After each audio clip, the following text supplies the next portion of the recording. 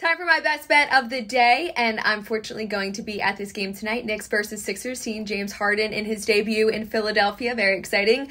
My best bet is Tyrese Maxey over one and a half made threes. Last game against the Knicks, he went three for five. He's hit over one and a half made threes in two games that James Harden has played for the Sixers this season. Harden's been really great at facilitating those shots for Tyrese Maxey, so I do believe he will go over one and a half made threes against the Knicks tonight.